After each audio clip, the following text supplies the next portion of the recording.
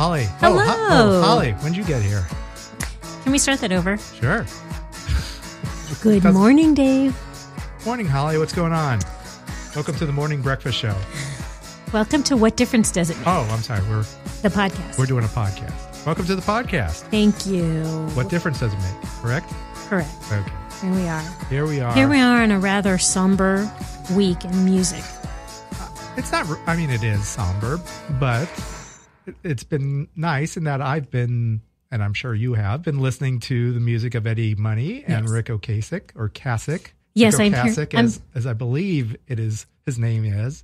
So for 40 years, I've been saying Okasek. I have too. Now have everybody is saying Okasek. I saw Stephen Colbert did a wonderful tribute to him, but he kept mm-hmm. calling him Ric Ocasek. Mm-hmm. But then I, of course, I go on YouTube to figure out how to say his name, and in this little video clip, he says, "Hi, I'm Ric Ocasek." Hi, I'm Ric Ocasek, and I turn confusion into a virtue. Ah, okay, so we got the weird, we got the, the official. I believe so. Okay, So, thank you for that. so it is Ric Ocasek, but I will probably flub that up and say uh, Ocasek once in a while. we'll know who you're talking about. All right. We do know Eddie Money. Eddie Money. It's pronounced Money. Money, but his his uh, born name, birth name was Mahoney, right? Um, yeah, here's a fun fact. His name is Mahoney. His mother is uh, Jewish. I know. I just saw that. I had no idea. He was a police officer. I thought he was Yes. always Irish Catholic or you know something like that, but uh, apparently he's one of the chosen. he is officially one of the chosen ones. Yeah, But he was he was only on the police force for two years because music was it for him. of course. Yeah. Policing was a gateway drug to rock and roll. Yes, exactly. Yeah. He he said in uh, he told Rolling Stone in an interview that it, he would have been a very lenient cop. I would imagine so. Yes. I would imagine there was a couple incidences where Eddie was uh, talking to police for some reason, one way or another, for some indiscretion On the receiving end. on the receiving end, and uh, I'm sure he was thinking, if this was me, I you know give him a free pass or something, Yeah. or maybe he had a way of talking to uh, to cops to get out of situations. Yeah. Yeah. So, well, so if it's not obvious to our, our audience, we're dedicating this show to Ric Ocasek and Eddie Money. Yes, indeed, uh, they were tremendous artists that we. I mean, I, I I grew up listening to Eddie.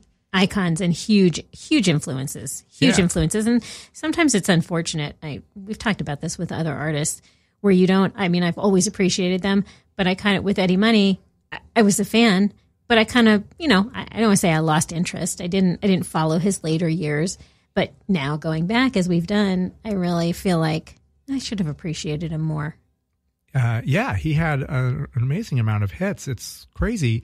Um, who was a who was the bigger artist according to Billboard? Was it Eddie Money or was it the Cars? It's funny. I would say the cars, but you're probably going to tell me Eddie Money. That is correct. It is Yeah. Eddie Money. Eddie Yes. Money was the um, in the 20th century was the 175th biggest artist, Wow. and that's bigger than Bob Dylan, Steve Miller, INXS, Dolly Parton, REM, and the Cars. Shit. Is that based on, on number one hits Those or, are based or on singles. Okay. Uh, um, singles? Yeah, which isn't surprising. I mean, I, I remember Eddie Money albums. You know, I remember the the first album was Mm-hmm. actually my dad bought it because he loved the song Two Tickets to Paradise. And that was like the first rock album that I think we both shared. Like, oh, you you like this? I I like this too. It's bonding. And that was 1978. yeah. So yeah. Yeah. that was. I think that was probably the first rock and roll album that my dad. You know, dad goes to Licorice Pizza and bought the bought the Eddie Money debut album. But for the most part, I mean, I you don't really think of Eddie Money in albums. You think of singles. Yeah. I mean, he had he had a lot of them. He had you know, "Take Me Home Tonight," made up to number four. He never had a number one hit. The biggest hit was "Take Me Home Tonight" in 1988. Is it cliche that that's my favorite Eddie Money song? No, not at all. As we talked about, that's you know the singles. You don't necessarily know a lot of the the albums. Um, What's then- your favorite song? was- Sorry, you're giving me statistics. and I Oh, want to yeah. know your favorite song. well, I mean, it's Go. it's always two tickets to paradise. I mean, come on. Yeah, that's what reeled It's you into iconic. Eddie Money. Yeah. I mean, everybody, you, it's still, uh, you know, as uh, you go down the rabbit hole, you start the YouTube rabbit hole, Yeah. you see it on King of Queens. Yes. you know, they were they used that. They Eddie Money was on that that show, and Two Tickets to Paradise was kind of like the theme of the of the show. Uh, they played a lot of that, and then uh, you see Homer Simpson singing Two Tickets to Paradise, and then you watch the Geico commercial. He's he was running the Eddie Money travel agency.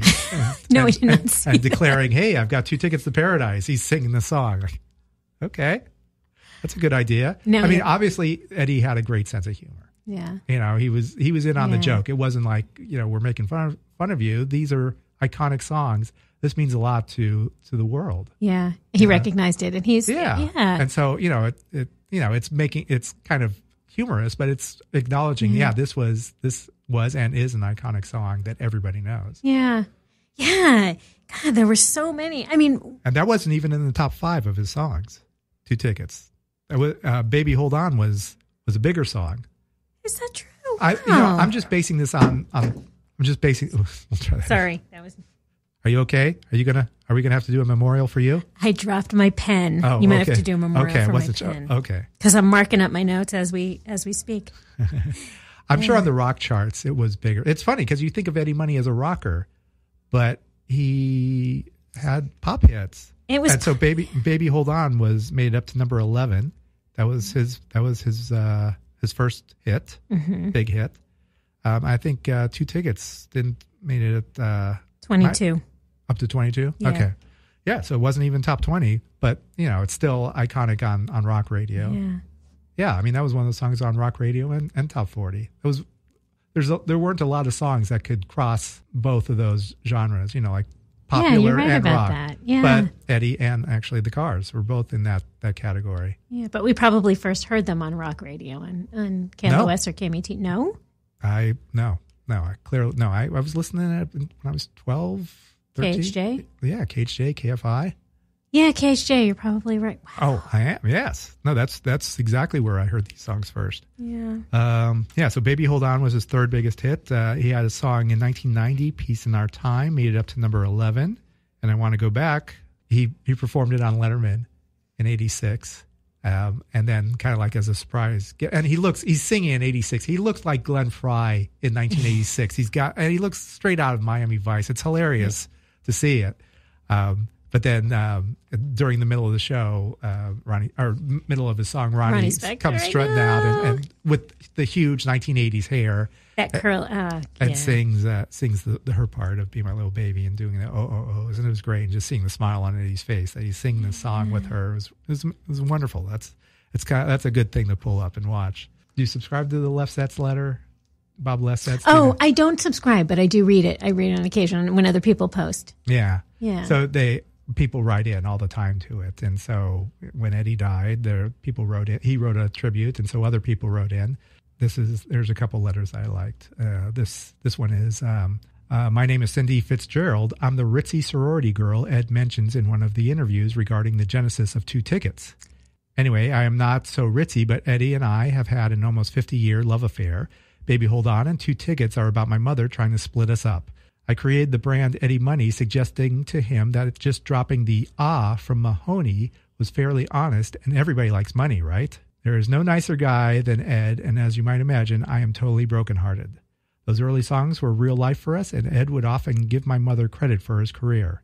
She helped, but it was his talent, his very hard work, a bit of luck, and timing. And you know what? It was his destiny. It really was. So that was uh, that's from Sid, Sidney Fitzgerald, who uh, had a relationship with Eddie and Eddie's muse. That's really that's it's nice to hear this stuff. You almost wish I mean how you would have felt if you had known these stories Oh yeah, as you were listening to the songs. I did not know that, did you? no, Yeah. no, no. Um, But yeah, and he was, uh, you know, there was a couple other letters. There was, um, this is from, I don't know if, uh, you know, on Facebook or, you know, I'm sure a lot of your friends are in radio. I'm sure a lot of, you saw a lot of photos of people with Eddie Money. Mm-hmm. Yeah. And so this is, this was from John Michaels. He says, like anyone who was in radio during a certain period, I had multiple encounters with him. And for mm-hmm. most of it, I wasn't even in a large market. Every radio friend I have on Facebook posted a picture of themselves with Eddie. He visited every station. He called everybody. He remembered names. Radio pal noted that he could have been a VP at Columbia because he, he got promotion with a G, capital G O T, got promotion better than anyone. old school promotion, shaking hands and kissing babies, mentioning station call letters and Jock's names when he was on stage in their city, and always saying thanks for the airplay. The critics may not have understood, but we did. He seemed it seemed genuine. It always seemed genuine. People genuinely liked him, and he seemed genuine doing that stuff. I think so. I was Yeah. at uh, I was at a convention that was for radio and music supervision, and this was like maybe ten years ago, and so he was probably there mostly for music supervisors. But you know, he was there. He got it. He's like, I Yeah. need to say But the hello to these importance people. of it, but it's it, it's important, but it's just a part of your life. It's like integrated into your life. Yeah, but you know, but it comes natural. I mean, some you know, some rock stars are like you know above it all, but Eddie understood it. It's it's about Yeah. Or they're doing a job and rolling their eyes. Right. It's not just there's more to you know. There's there's you have to sell the music too. Yeah. I mean, you could be an artist, but there is a lot of marketing to the job, and uh, and Eddie got it, and so you know, so that's that's kind of cool that everyone got a picture with Eddie. He got it. He knew what to do. you know how to how to sell his songs. Yeah, yeah. Did Did you ever watch his reality show? I never did. Did you see it? Nope, I've never seen it. Never. It seems, uh, yeah. I don't. I'm not. I'm not a reality show person. I've never Yeah. watched any of those, but it's some of them. I don't know. He just seems. He might be an interesting character. Yeah, it might be something to pull up uh, and, Yeah. and watch, but yeah, I'm not. I think I watched a little bit of. uh I watched the Osbournes. Yeah, I think they interesting, different than Ozzy, but yeah, yeah, I mean it's the same. You know, there's Gene Simmons has Mm-hmm. has his show, so yeah, Eddie got one of his. I'm, I'm sure it was It surprised me though because he always struck me as a little more low key. You know, even with the you know promotion and you know being out in the field, so to speak, he still seemed more of a low. I mean, yes, he was a rock star, I guess, but just low key. I wouldn't have guessed he would have had a reality show. yeah. Well, I, as I mentioned, he got it. You need to keep your name out there, and that was this was uh, something to keep his name out in the in the public eye. You know, Yeah. people, your kids, they don't know who Eddie Money is, but they probably know Two Tickets to Paradise For sure. Yeah, I'm sure if you play, they might not know the name Eddie Money, but they they know the song. Yeah. and you know that's that's because of Eddie Money getting out there and you know making sure that the, that the music o- always got heard. Yeah. I was reading. Did you uh, do you know anything about his wife, No, Lori Money, which I guess she went by that name too? Uh, they got married in 1989. hmm She said that she did not know who he was at the time. No matter, you know, I guess they had met in 1985, but uh, yeah, I don't know. I felt like from day one we know, you know, from the first note of the first song, we knew who he was. well, sure, but if you Eddie Money walks up to you in a bar, would you know? Hey, you're Eddie Money. He well, yes, I intro- would. If he introduces himself as Eddie, Yeah. She also said she used to get him mixed up with John Mellencamp. I can understand. yes. and the Lefsetz letter. Speaking of money, he always he signed it Eddie dollar sign. Oh, That- really? yeah. Huh. you know, what else could that be? Money takes too long to spell. Eddie Dollar. Eddie Dollar. so anyway, he did. He died of uh, esophageal cancer. Esophageal. Esophageal. He I died. think that's the correct pronunciation. yeah, it was esophageal cancer. Donations on behalf of Eddie Money can be made to the Eddie Money Cancer Research Fund at the USC Norris Comprehensive Cancer Center. Let's take a break before we start talking about Ric Ocasek. Good idea.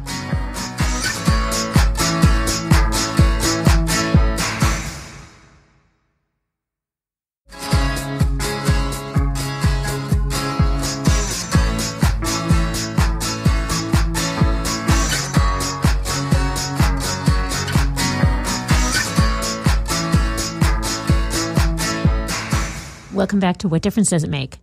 That was that was sad to hear. And then, like a, a few days later, we got news that uh, Ric Ocasek had passed away. Yeah. Not similar artists, but the same, like similar impact. It was Although I think- seventy eight. I think, Seventy eight was the debut of both of these artists. he- they had a, a, a huge impact, Ric Ocasek.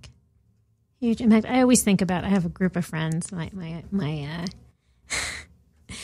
a group of guys that I've been friends with since pretty much elementary school Mm-hmm. that I can't think of the cars without thinking about them. Yeah. Yeah. Yeah. So it has, has a doubly good association because I love the band. I love Ric Ocasek. Sorry, Ocasek's persona. And I love my boys. All right. Shout out to uh, Holly's To, crew. to, Jeff, Michael, and Adam okay. Was this the the first album or what was the the album? from the first album. Yeah. I was going to ask if you ever did you ever see the Cars live? Like in concert? Did you take the crew to see them? I never. I don't think I've ever seen them. Yeah. And Have these are- you? no, I never did. I'd always heard, and as I, I've watched performances as I went down, Yeah. they were not the most dynamic performers. No. So it was never, uh, it was, you know, kind of studio wizardry, I think, uh, the magic that they made. Magic. Yes, exactly. Uh, was you were going no, for that. no coincidence I said that. But he he still had a presence. Ric Ocasek still had a, and Ben Orr, you know, who was a cutie. But um, Indeed. but Ric Ocasek had a presence that still, uh, it still brought you in. You were still fascinated by him. And I know it wasn't a great stage show, but Yeah, well, that's where I think the videos came in. yeah, Uh, it was a good replacement because they made iconic videos. very were just creative. oh, insane! Yeah, they got an MTV Video. Vanguard Award. Yep. Well deserved. Yes. Yeah, because we uh, yeah we grew up on those. Those songs are amazing. Um, can we talk about his age for a second? Because I'm seeing 70 and 75. Okay. Um, yeah, so he was 75. I looked on the New York Times, the obituary. They actually had a little blurb about was is Ric's because they were panicked because they had to they had to print something, and they kept seeing 70, 75.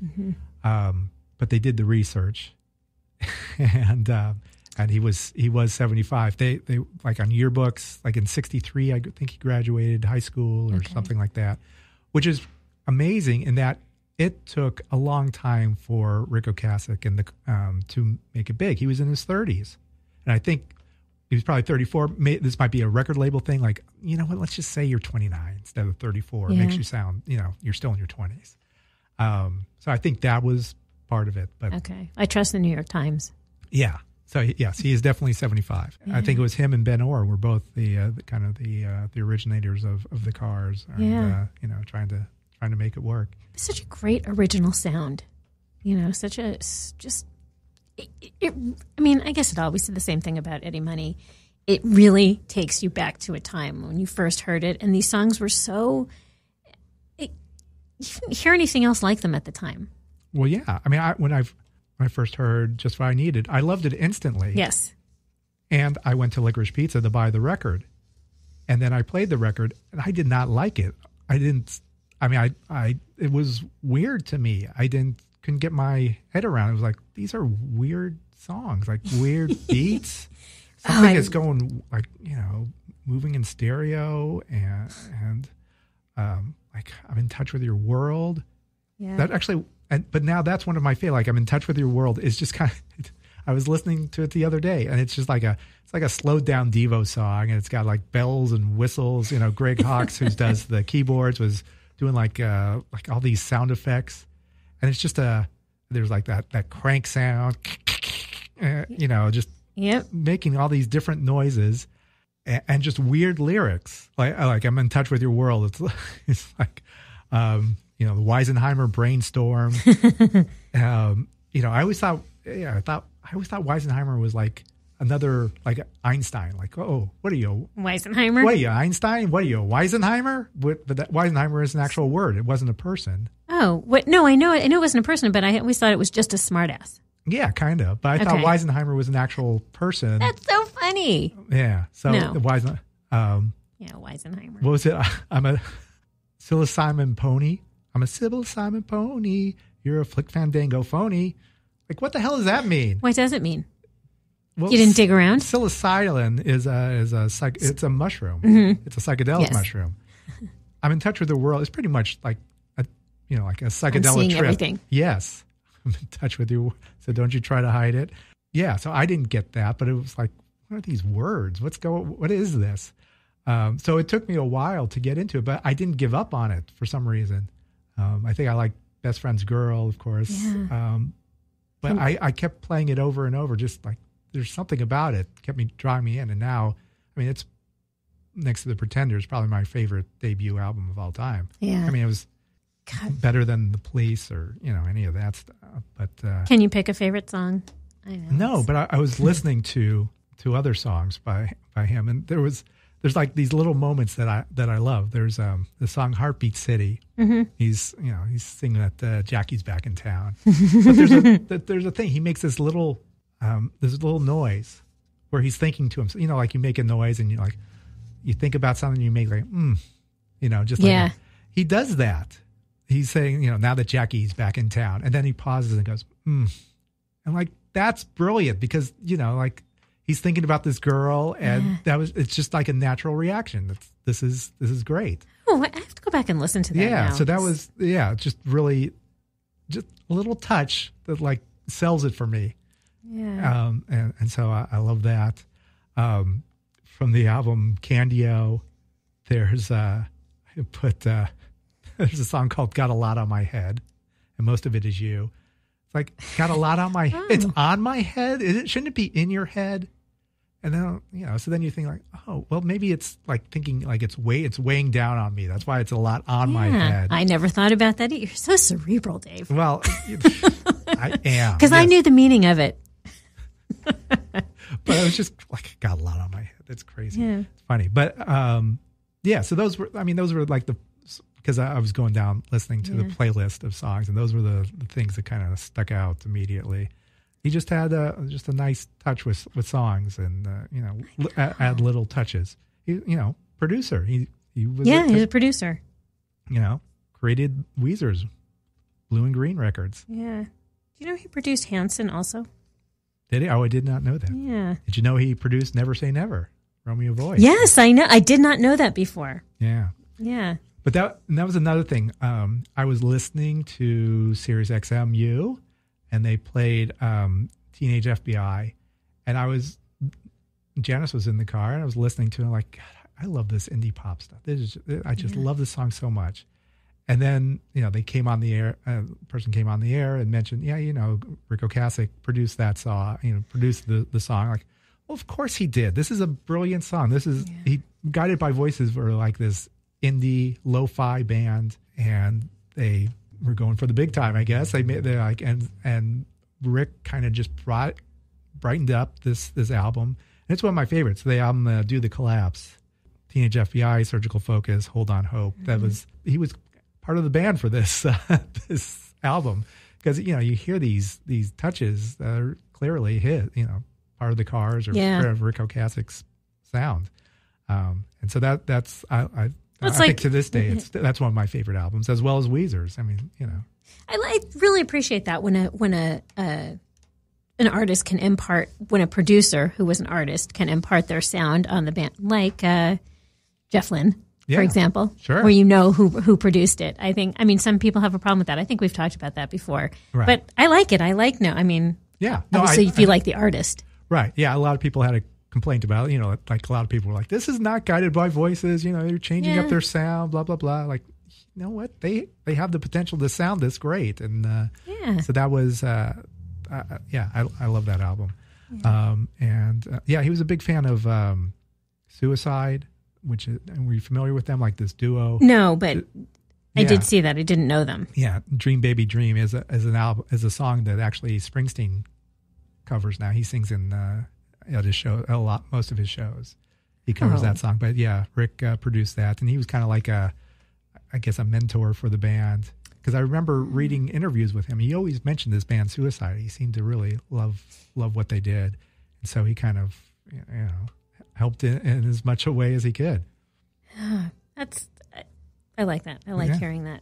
I like. Uh, Yeah, and obviously he had a sense of humor too. That uh, Colbert, did you? He was on the Colbert Report a couple times. yes, I have do- seen him. doing like certain uh, man on the street type things. It's great. It's so funny his way, his his droll, you know, just his Oh. his manner. Certain very droll and just kind of like, what is just a weird looking guy, weird delivery, Yeah, which is probably why I didn't like it at first. Like you know, just like what is Yeah. this? What's going on here? But uh, weird looking guy gets the supermodel. He certainly does.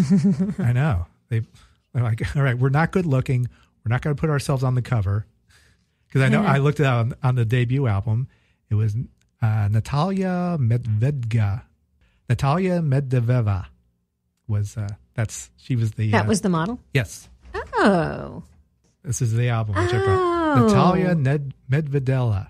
Okay. Natalia Medvedeva. so we like the foreign ladies.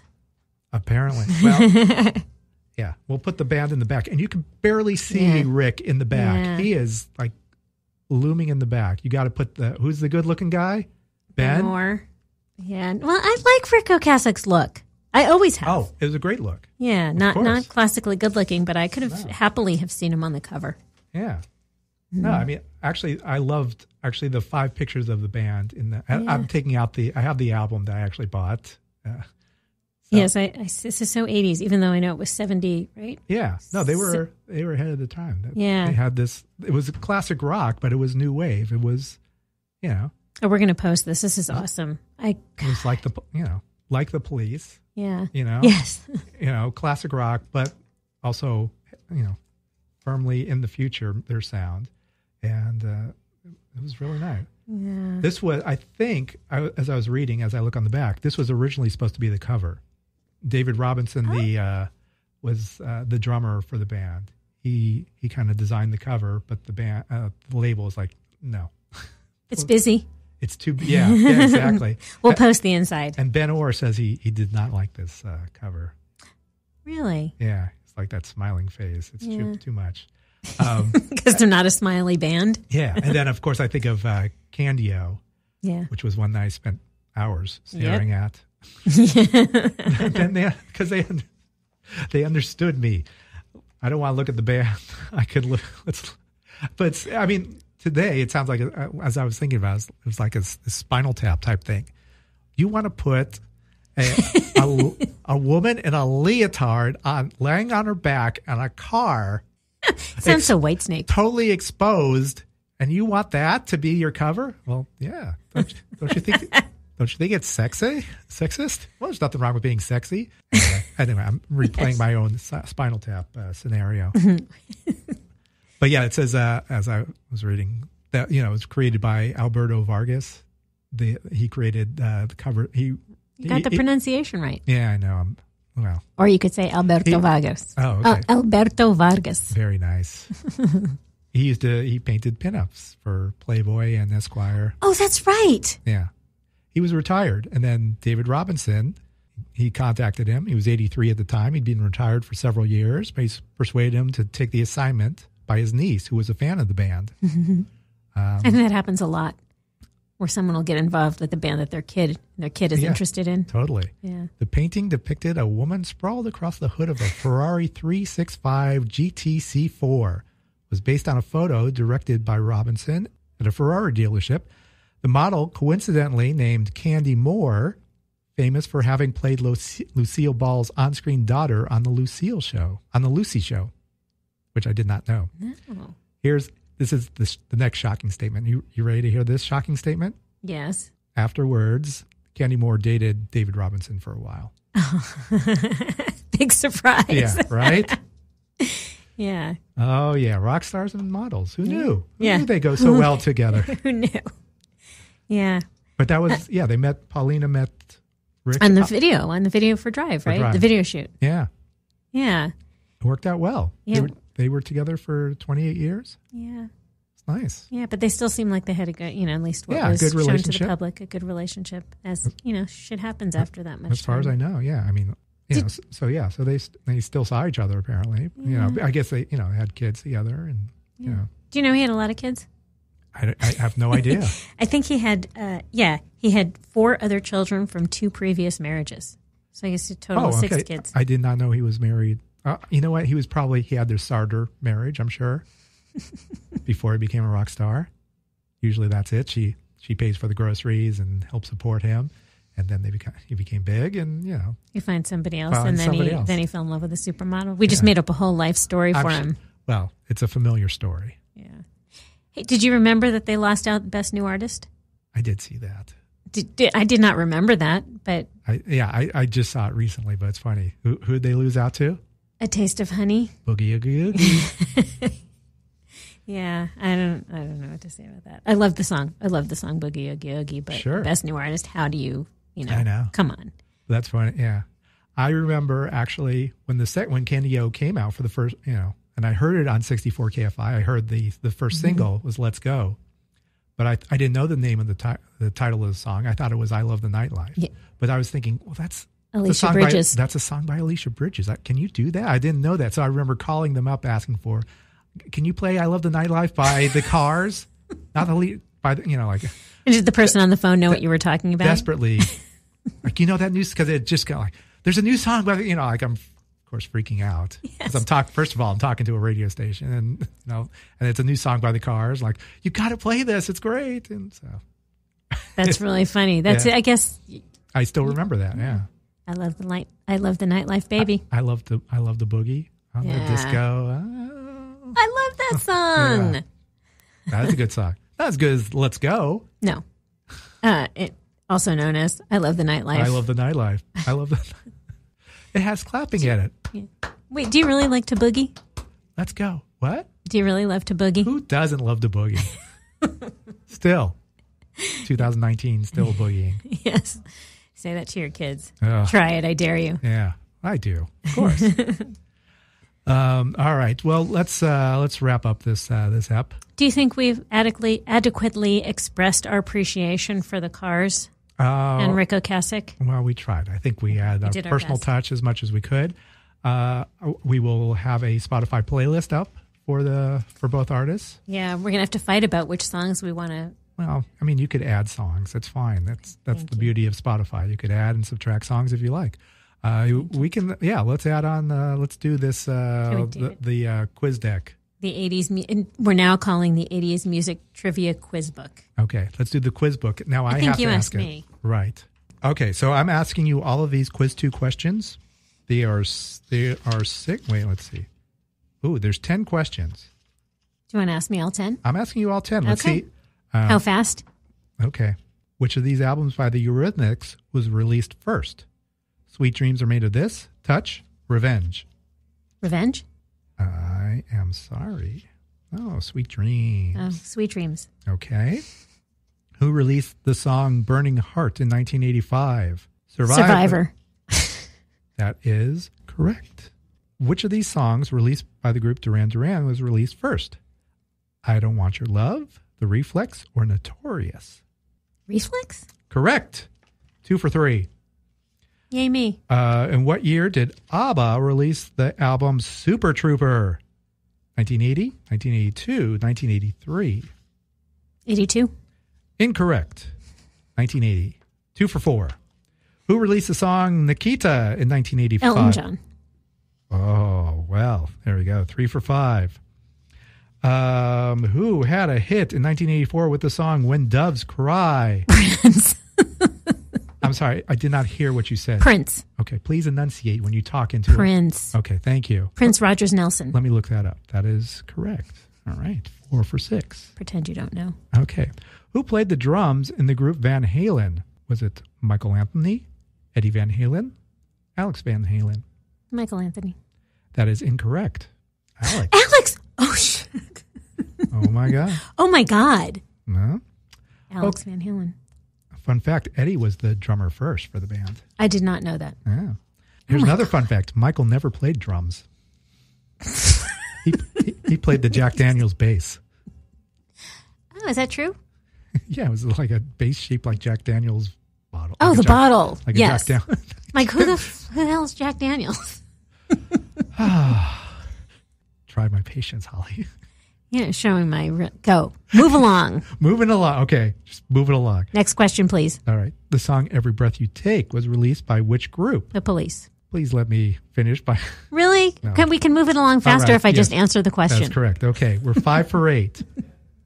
Which song by the group Foreigner begins with the phrase, I got to take a little time, a little time to think things over? Should I say? Okay. You give me the choices. And that was yesterday. I want to know what love is. Waiting for a girl like you. Waiting for a girl like you. No. Oh, I want to know what love is. Yes. All right. This is you're five for nine. Uh oh. Let's, see if we can get a I'm not very good at this. Let's see if you can get. I'm showing that I really don't know that much about music. And going for sixty percent. Let's see. What, That's a D. what song by Tina Turner has a chorus that contains the phrase "All we want is life beyond the Thunderdome. What's love got to do with it? Typical male. We don't need another hero. We don't need another hero. That is correct. Congratulations. Six out of 10. Yay. I got Yay. a D. All right. D equals degree. You get a degree in 80s. That's true. All right. Thank you. Thank you, Dave. Thanks, Holly. And thank you. Thank you everyone for listening. Yes. Um, where can you find us? You can find us on Facebook if you're old, and you might be, Okay. at uh, What Difference Does It Make podcast. Okay. You can find us on Instagram, WDDIM Podcast, and you can find us on Twitter, WDDIM Podcast. So please do like us. Give us give us some thoughts. We need thoughts. We need to fill our head with more Obvi- thoughts. Obviously, because, you know, 60% isn't going to cut it. I suck. I'm going to study this week. I'm going to know a lot more about music when I come back next week. Excellent. All right. So then, until next week, this is Dave. This is Holly. Check you later. Over and out.